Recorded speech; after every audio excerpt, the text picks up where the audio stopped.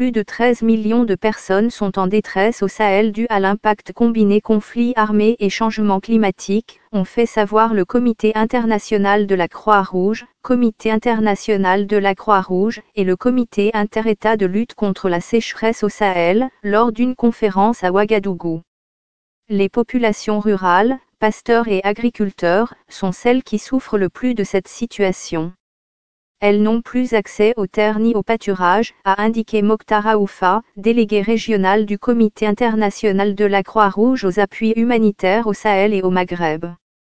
Selon lui, les problèmes climatiques empirent la situation.